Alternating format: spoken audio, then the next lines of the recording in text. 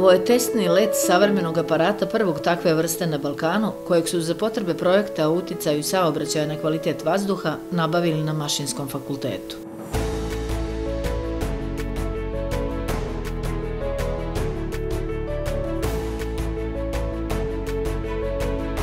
Ovaj uređaj ima u sebi 10 senzora eh, koji dominantno su posvećeni polutantima koji potiču od saobraćaja. Prednost uređaja je što može da mjeri na različitim visinama, obuhvata veću površinu i ima mogućnost mapiranja, za razliku od postojećih koji mjere zagađenje u jednoj tački. Prikupljeni podaci ne mogu biti u potpunosti iskorišćeni jer nema normativa za sve parametre. Ono na čemu ćemo da radimo jeste pogotovo analiza sadržaja vazduha u dijelu lokala koji se nalaze blizu saobraćajnice gdje ljudi provode dosta vremena, a da kažem izloženi su uticaju ovaj vazduha, odnosno sadržaju PPM čestica koje su jako štetne za ljudski organizam. U izvještaju Evropske agencije za zaštitu životne sredine navodi se da je zagađenje vazduha uzročnik 400.000 preranih smrti u Evropskoj uniji na godišnjem nivou. Podaci istraživanja Instituta za javno zdravlje Crne Gore iz 2016. godine o uticaju zagađenog vazduha zabrinjavajući su. Preko 180 hospitalizacija na godišnjem nivou bude zapravo uzrokovano, uzrokovano posljedicama izduvnih gasova i e, zagađenja vazduha, a da preko 250 smrtnih slučajeva godišnje zapravo bude indirektno povezano sa zagađenošću, globalnom zagađenošću vazduha u kojoj ne smijemo zanemariti uticaj saobraćaja. 20% zagađenja vazduha smatra se da potiče od rumskog saobraćaja. Saobraćaj predstavlja i najveći izvor emisije azotnih oksida, 39%. Od ukupnih emisija, 11% doprinosi emisiji PM čestica veličine 2,5 mikrona, što u poređenju sa debljinom vlasi kose predstavlja 3% njenog prečnika. PM čestice poznate su i pod nazivom nevidljivi ubica – To je smješa dima, čađi, prašine i kiseline koja može dugo da ostane u vazduhu. Iz Nacionalne agencije za zaštitu životne sredine kažu da je zagađenje vazduha u Crnoj Gori sezonskog karaktera, uglavnom loš tokom zimskih mjeseci, naročito u Pljevljima, Podgorici, Nikšiću i Bijelom polju. Glavni zagađivači su industrija i individualna ložišta. Šta je sa uticajem saobraćaja? Mi na sreću nemamo problema kakvih imaju veći, veliki evropski ili svjetski gradovi i možemo reći da što se tiče uticaja saobraćaja na kvalitet vazduha, on u našoj zemlji nije dominantan. Procjenom i e, modeliranjem utvrdili smo da koncentracije azotnih oksida, odnosno emisije saobraćaja, oko 47% su od ukupnih emisija azotnih oksida svih emitera u Crnoj Gori i ugljen monoksid recimo nešto oko 10%, ali kada posmatramo ukupni uticaj emisija i saobraćaja na sve emisije na zagađujuće materije u vazduhu, ono je nešto ispod 10%. E, nikada nismo imali problema ni na najvećim raskrsnicama sa visokim i veoma visokim koncentracijama zagađujućih materija koje bi uslovile neku interventnu reakciju Agencije zašto životne sredine u smislu sprovođenja mjera koje bi imale za cilj obustavu saobraćaja ili neke druge mjere. Iz agencije upozoravaju. Ne postoje koncentracije, granični, koncentracije zagađujućih materija u vazduhu koje se smatruju bezbjednim za svakoga. Dakle, ove granične vrijednosti su propisane u odnosu na neke koncentracije koje potencijalno mogu izazvati probleme sa zdravljem. U nevladinoj organizaciji OZON koristili su podatke agencijskog mjerenja ali su premjenjivali drugačiju metodologiju, izdvojivši sezonu grijanja. Grejnu sezonu vide kao izgovor za određena nečinjenja, iako je činjenica da je dominantan izvor aerozagađenja u određenim sredinama. Podaci do kojih smo došli prateći sezonu grijanja 2019-2020 i prvo polovinu 2020. godine, e, možemo da kažemo da je kružni tok e, u Podgorici jedan od e, centar aerozagađenja, da tako kažem, jedan od crnih tačaka, pogotovo u glavnom gradu, gdje se mjeri na dvije, e, na dvije, na dvije različite mjerne stanice. E, evo da uporedimo recimo sa Nikšićem, taj broj, e, aero, broj dana sa prekoračenjima srednjih dnevnih vrijednosti praškastih materija na kružnom toku je na kružnom toku u Zabilu je veći nego što je u Nikšiću aerozagađenje, tako da definitivno moramo da kažemo da je tu saobraćaj dominantan izvor aerozagađenja. Problem aerozagađenja od emisija i saobraćaja apsolutno je prepoznat naročito u Podgorici. Priminom mjera predviđenih lokalnim akcionim planom, ali i kroz nacrt nove četvorogodišnje strategije o upravljanju vazduhom, trebalo bi da bude dijelimično riješen, kažu u Ministarstvu održivog razvoja i turizma. To će biti jedan novi strateški okvir koji će veći fokus staviti odnosu na ranije na e, e, problematiku uticaja zagađenja vazduha na zdravlje čovjeka, a sve na liniji preporuka Svjetske zdravstvene organizacije. Trenutno na planeti Zemlji e, 90% svjetske populacije živi u područjima sa pogoršanim kvalitetom vazduha. E, matematički posmatrano, od 10 stanovnika planete Zemlje, 9 njih, odnosno 9 nas udiše ovaj, e, loš vazduh. U Crnoj Gori prema podacima MUPA registrovano je 237.000 vozila. Prvi put 18.173. Samo u Podgorici registrovano je blizu 76.000 automobila. Preko 180.000 koristi dizel gorivo i oni se smatraju najvećim zagađivačima. 49.000 benzinaca i 202 vozila na električni pogon. No u saobraćaju cirkuliše i veliki broj neregistrovanih vozila. Po podacima udruženja Nacionalnog biroa osiguravača ima ih blizu 10.000. Samo u prošloj godini imali su 484 odštetna zahtjeva koji se odnose na štetu pričinjenu upotrebom takvih vozila. Sa aspekta zagađenja vazduha, ali i bezbjednosti, zabrinjava starost voznog parka. Prosječna starost e, vozila u Crnoj Gori je oko 16 godina. Analize koje su urađene po opštinama pokazuju da je prosječna starost vozila u pojedinim opštinama kao što su Budva, Kotor, Tivat je oko 13 godina, a u opštinama sjevera kao što su e, Bijelo polje, Berane, Šavnik, 19, odnosno 20 godina. Prosječna starost vozila u Evropskoj uniji je blizu 11, ali ima zemalja poput Grčke, Bugarske i Rumunije gdje je 16 ili 17 godina u Litvaniji. Vozni park u Crnoj Gori uglavnom se obnavlja kupovinom polovnih vozila iz inostranstva. Ono što je najvažnije u ovom momentu, da stanovnici Crne Gore koji imaju vozila starosti preko 25 30, znači više godina, zamijene svoja vozila sa vozilima starosti 10 do 15 godina, jer nažalost njihova ekonomska situacija ne dozvoljava da kupe novija, novija vozila. Starost automobila povećava emisiju štetnih gasova. Jedno takvo staro vozilo zagađuje koliko šest vozila sa Euro 4 motorom, odnosno 28 vozila sa Euro 6 motorom. Za potrebe ove emisije uradili smo mjerenje izduvnih gasova za tri automobila od 10, 20 i 30 godina starosti. I to devet mjerenja kako bi se uzela srednja vrijednost.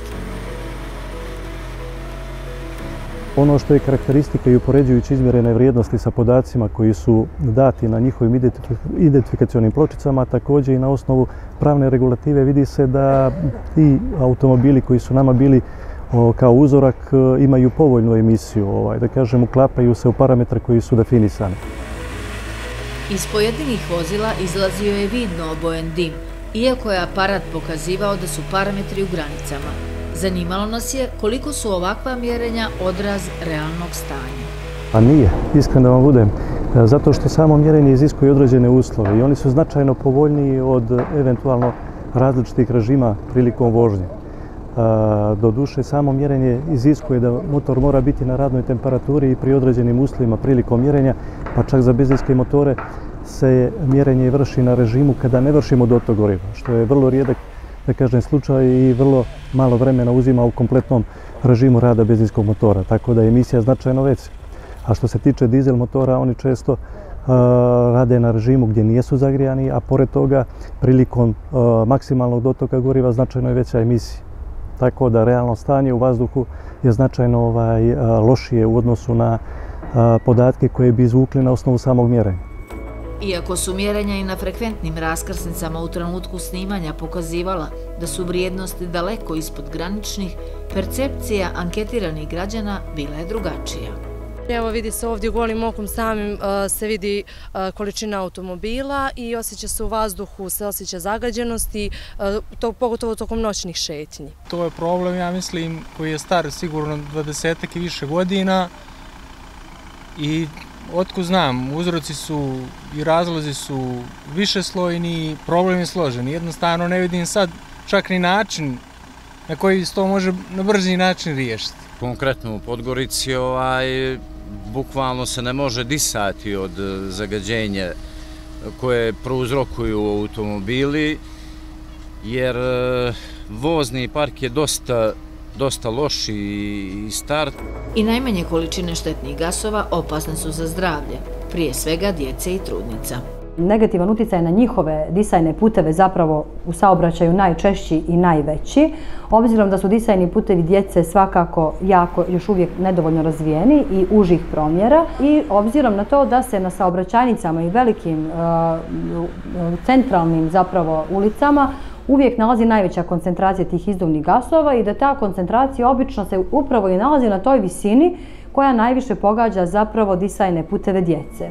Rizične grupe su i hronični bolesnici, asmatičari, diabetičari, pacijenti od kardiovaskularnih i neuroloških oboljenja.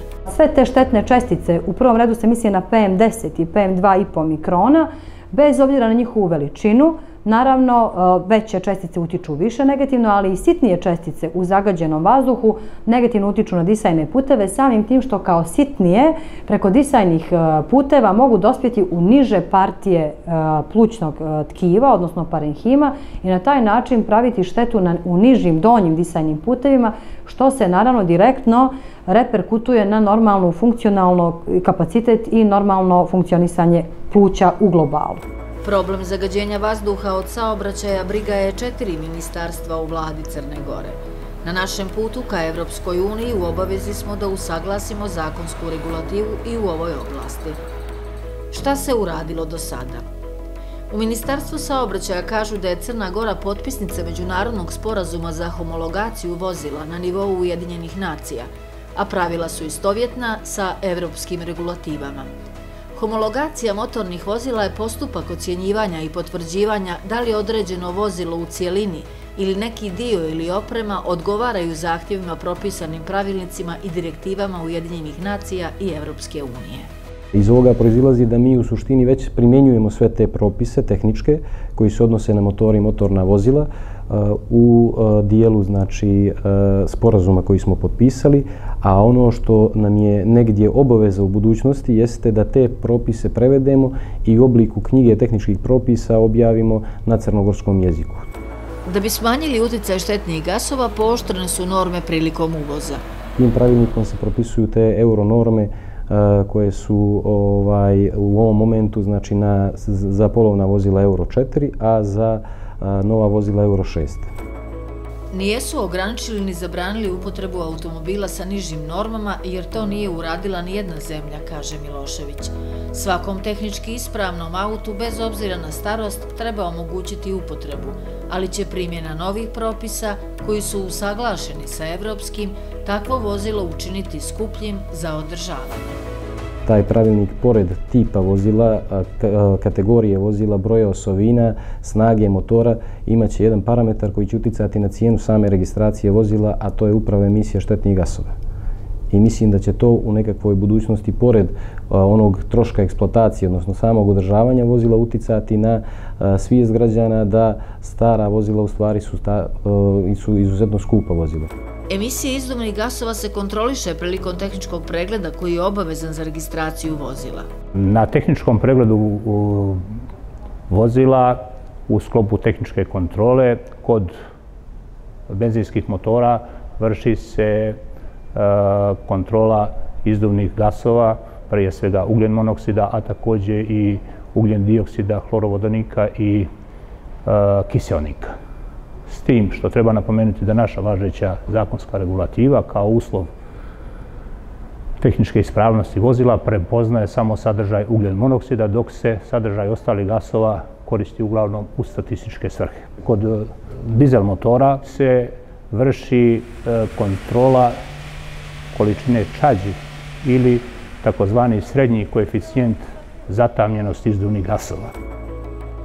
Ovo su važeće norme.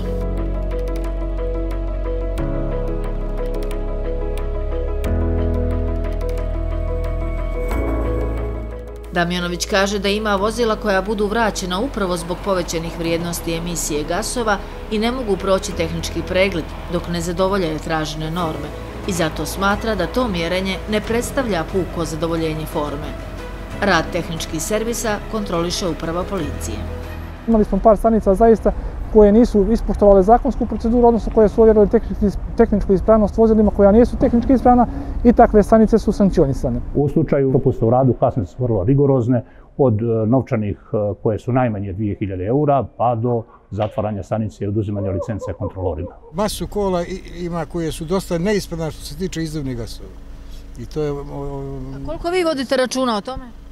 Pa to bi trebalo da se vodi računa. Znate, svako auto koje pođe na tehnički pregled, ovi ljudi tamo rade neke testovi, ono, znači taj auto ako ne zadovoljava neke potrebe, ne bi smio da izađe. A kako onda vidimo na ulicama puno automobila koji ne zadovoljava? E, to ne možete mene pitati, ne znam. Naše udruženje baš dosta vodi računa ovaj, o tome, jer e, iako su, iako su ti dijelovi skup dosta, dosta nepovoljni ovaj, što se tiče cijene, e, mi se trudimo znači, da što više ispoštujemo te ekološke standarde po pitanju E, svega, znači katalizatora, partikula, e, svih e, ostalih filtera.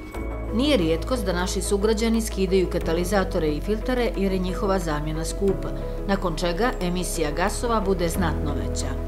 Zato je stručnost zaposlenih u tehničkim servisima neophodna, ali i odgovornost nije samo na njima. Službenici saobraćajne policije prilikom redovne kontrole mogu uputiti takvo vozilo na vanredni tehnički pregled i isključiti ga iz saobraćaja. Novim propisima koji čekaju primjenu imaći mogućnost da na licu mjesta provjeravaju sadržaj izduvnih gasova.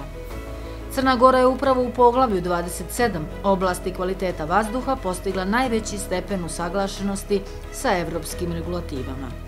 Poštovanje smjernica Evropskog zelenog dogovora biće imperativ u narednom periodu. Da bismo postavili zemlje članice Evropske unije, mi moramo da zadovoljimo standarde emisije zagađujućih materija u vazduh. To se ne odnosi samo na drumski saobraćaj, odnosi se i na aviosaobraćaj i pomorski saobraćaj. Ono što je prvi naredni korak koji će Evropska komisija da uradi već u junu 2020 prve godine, a to je da revidira zakonodavstvo oblasti kvaliteta vazduha u pravcu poštravanja standarda emisija zagađujućih materija u atmosferu, a ponavljam još jednom mi kao e, e, zemlja koja aktivno pregovara sa Evropskom unijom upravo u ovoj oblasti, u obavezi smo da u korak pratimo sve izmjene u njenom zakonodavstvu i da to e, preslikavamo i u naš pravni sistem. Evropski zeleni dogovor je nova strategija koju često nazivaju planom oporavka Evropske unije za sljedeće generacije. Ima ekonomsku, ekološku, zdravstvenu, socijalnu dimenziju. Predviđa čiste digitalne tehnologije sa kružnom ekonomijom koja će omogućiti nova radna mjesta i ojačati Evropsku uniju. U dijelu posvećenom saobraćaju očekuje se uvođenje strožijih standarda i norme Euro 7 za automobile – Planirana je izmjena zakonodavstva od juna naredne godine kako bi se pooštrile mjere zagađivačima za emisiju ugljen dioksida. Smanjenje štetnog uticaja transporta, naročito u velikim gradovima, riješit će se promjenom organizacije saobraćaja. Oslanjaće se više na javni prevoz, forsirat će se biciklizam i pješačenje. Cilj je da od 2025. godine u Evropskoj uniji bude nulta emisija u saobraćaju. Rečeno nam je u direktoratu za životnu sredinu, okeane i ribarstva Evropske komisije. Ovo vozilo je staro 16 godina, ovo 15 godina i oni su najčešće vožena godišta u voznom parku Crne Gore. No, nijesu rijetki ni ovi automobili kao što je Golf, star 30 godina. Oni se smatraju većim zagađivačima zbog toga što imaju jaču emisiju izduvnih gasova. Automobil budućnosti je upravo ovaj na električni pogon koji ima nultu stopu zagađenja. Ali kako doći do ovog automobila? To nije stvar samo pojedinca, već države koja mora da vodi računa kako će napraviti stimulaciju svojih građana u ovakvoj ekonomskoj situaciji da bi mogli da voze auto koje ne zagađuje sredinu, ukoliko želimo da živimo u ekološkoj Crnoj Gori. Vlada je nedavno formirala ekofond koji se samo finansira. Obezbijedio je sredstva za stimulisanje kupovine vozila na električni i hibridni pogon. Pripremaju javni poziv. U fazi smo, da kažem, usvajanja pravilnika i finansijskog plana eh, i naš predlog će biti da to bude za električna vozila do 5000 eura, a za hibridna vozila do 2500 eura. Naravno, u ograničenom budžetu s kojim raspolažemo za ovu godinu. Svake godine očekujemo povećanje broja vozila koja ćemo moći da subvencioniše. Ekofond funkcionisat će po sistemu zagađivač plaća, te će nakon usvajanja zakona o putevima, koji u skupštinskoj proceduri imati više novca za projekte i saobraćaja. Poslije usvajanja zakona stvorit će se mogućnosti da snažnije podržimo lokalne uprave e, vezano za širenje, da kažem, e-saobraćaja i smanjenje CO2 na taj način. Takođe, u prilici ćemo biti da radimo monitoring goriva i da budemo partner svim lokalnim samoupravama i privrednim subjektima na smanjenju CO2 i povećanju energetske efikasnosti. Prelazak na zelenu energiju je skup i dugotrajan proces, koji mora ići etapno. Zato treba iskoristiti pristupne fondove, ali i čuti iskustva drugih. Profesor Zolan Lulić sa Fakulteta strojarstva iz Zagreba kaže da je Hrvatska uradila dosta na postizanju sigurnosti u saobraćaju i da kroz brojne akcije radi na smanjenju uticaja saobraćaja na životnu sredinu. Od e, tako da postoje od onih čisto edukativnih do akcija koje e, imaju daleko značajniji utjecaj, a to je subvencioniranje primjerice izgradnje mreže punjača za električne vozila, subvencioniranje nabave vozila na pogon alternativnim pogonskim sustavima i u zadnje vrijeme što je najinteresantnije subvencioniranje nabave vozila na električni pogon. Nažalost, električna vozila su i dan danas još uvijek znatno skuplja nego li vozila pogonjena konvencionalnim pogonskim sustavima, tako da, iako su subvencije među najvišima u Europi, znači za nabavu električnog vozila može se dobiti poticaj i do 70 tisuća kuna. Ponekad niti to nije dovoljno, a s druge strane budžeti su ipak nešto malo premali. Priča o značaju čistog vazduha i smanjenju emisija nije izmišljena da bi se prodavali skupi automobili i država ubirala poreze, Zato Lulić insistira na edukaciji građana i jednostavnom objašnjenju. Naša vozila, dok god rade i koriste goriva fosilnog porijekla, ispuštaju tijekom rada značajnu količinu ugljikova dioksida, koji onda na globalnoj razini povećava efekt staklenika. A to je ono u stvari što utječe na sve ljude na zemlji, znači predonosi zatopljavanju atmosfere i iz tog razloga se ubrzavaju klimatske promjene. Dobra iskustva nekih evropskih gradova preuzela je Podgorica usvajanjem plana održive urbane mobilnosti. To podrazumijeva upotrebu javnog masovnog prevoza putnika, posticanje biciklizma i pješačenja. Stvaranja zdravije, čistije i zelenije sredinije koja će omogućiti kvalitetniji život građana, objašnjavaju plan u Gradskom sekretarijatu za saobraćaj. Glavni grad je u tri navrata subvencionirao kupovinu bicikala, uredio niz biciklističkih staza, uveo jedan taksi prevoz na električni pogon, instalirao električne punionice. Ono što zabrinjava e, je, su neki podaci koji govore recimo da u Podgorici e, 85% dnevnih, e, da kažem, putovanja se obavi ili ličnim automobilom ili taksijem, što znači da na ove održive vidove e, transporta e, ide svega nekih 15%. I to je nešto što treba da mijenjamo. Također podatak da e, ovaj, gotovo svake godine e, dobijemo po 5000 novoregistrovanih automobila e, na podgoričke tablice i u periodu od 2013. do 2018. znači imamo porast od 25%. Tako da upravo posticanje eh, održivih vidova transporta eh, je nešto što je, što je nama, da kažem, eh, neophodno, čak i nužno. Ukoliko ovaj koncept saobraćaja koji poštuje potrebe čovjeka zaživi, bit će dobar primjer i ostalim crnogorskim gradovima. Nadamo se da će ovakvi slika biti sve više u budućnosti.